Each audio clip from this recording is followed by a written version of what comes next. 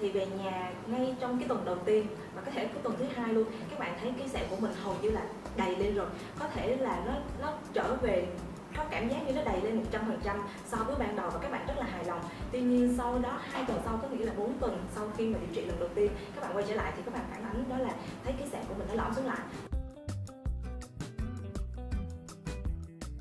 Ban đầu khi mà mình bóc tách sẹo có nghĩa là mình tạo thành một cái sang thương dưới dưới da. À, như khi mình dùng laser mình dùng BRB để mình làm lành vết thương nhanh thì sau khi một thời gian cơ thể của các bạn nó sẽ hấp thu trở lại nó sẽ à, làm à, lành thương trở lại nó sẽ tái hoạt mô trở lại. Thì lúc đó những cái mạch máu vỡ những cái tế bào máu đó hay những cái cái mô bị tổn thương đó nó sẽ trở lại bình thường. Thì các bạn sẽ thấy nó hơi hồng hồng nó hơi lõm so với lại cái lúc mà mình cảm thấy nó đầy trên da. Tuy nhiên nó không phải là về lại cái trạng thái ban đầu. Nếu các bạn so sánh cái hình đầu tiên và cái hình sau khi mà mình làm một tháng thì các bạn sẽ thấy nó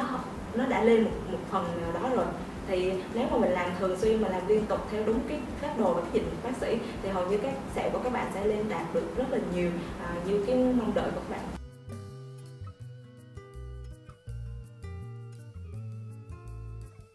Ngoài ra thì một số cái cái bạn tới phòng khám, tức là các bạn làm ở những chỗ khác, hoặc là các bạn có những cái thắc mắc, ví dụ như các bạn lăn kim, các bạn dùng tế bào gốc chứ là các bạn không dùng một PAV của các bạn mà có thể dùng tế bào gốc, thì thông thường trong tế bào gốc nó có rất là nhiều sản phẩm. Thì có thể cái tế bào gốc mà các bạn đang sử dụng nó có chứa HA thì khi các bạn lăn kim, các bạn các bạn sử dụng tế bào gốc đó, có thể người ta dùng phương pháp tim mesotherapy hay là người ta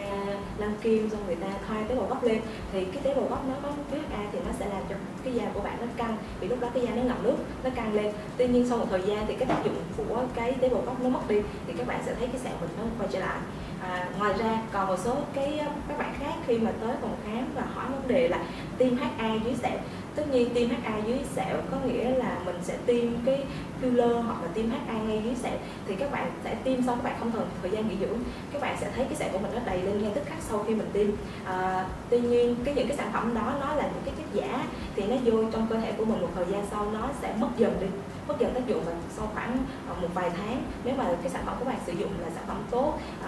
thì các bạn sẽ thấy sau một năm các bạn sẽ tái hoạt sẹo trở lại. Và doctor scan làm là cái phương pháp ba trong một nó sẽ có tính à, lâu dài và bền vững suốt đời.